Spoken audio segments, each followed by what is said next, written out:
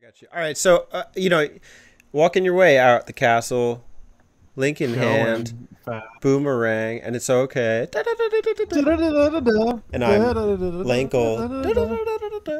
Lincoln Zelda. She is the maid. Okay, so uh, you hop on out of the sanctuary. That's where you wind up if you take the path out of the castle, if I'm not mistaken. And um, it, in order to progress to the first dungeon, you actually have to uh, head over to a little famous town. Uh, a lot of autographs being signed there uh, in the Zelda universe. It's Kakariko. Is it Kak- Kakariko or Kakariko? What do you guys say? I say, I say Kakariko. A- Anybody that says Kakariko, I think is a sociopath. Oh, Kakariko. Justified. Yeah. Got it. Let me just sharpen my knife right here. Uh, so, um, a lot to see, a lot to do in this town. Uh, what have you guys done and seen in Kakariko Village? My time in Kakariko Village. I hit a chicken. Bought a, a, a glass jar. Found an old woman. She woman she called the cops. Is she old? I talked to this woman and she said, "Help!" Help! Get out of my house! I said, I have a weapon. what are you gonna do?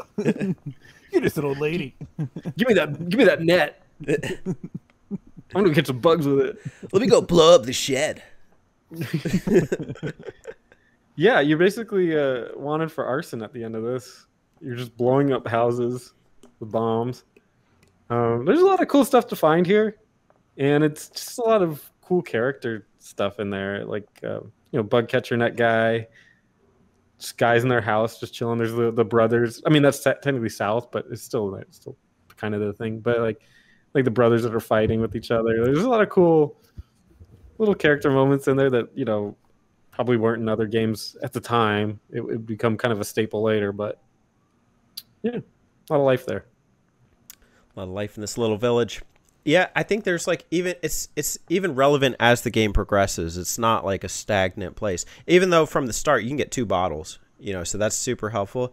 And you know, in conjunction with the net, you get fairies. You put them in bottles. You could you know stock up and you know kind of progress through the game kind of easily that way. But uh, I I I do think that there's like a couple opportunities to get some other stuff here too, like heart pieces. There's an entrance to the Lost Woods in the back, and uh, I, I think it's it's just kind of memorable. That's Ah, all right. The memories. Which Kakariko Village tune do you prefer, this one or the one in Zelda Ocarina of Time? I don't Ocarina. remember. I don't remember any of them. Is that what it sounds like? Oh my god! My I can't hit those highs.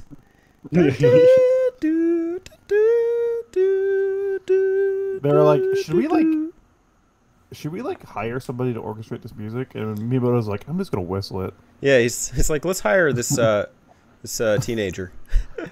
Yeah, he's got a recorder. he has can got a play harmonica. That's a harmonica. yeah. okay.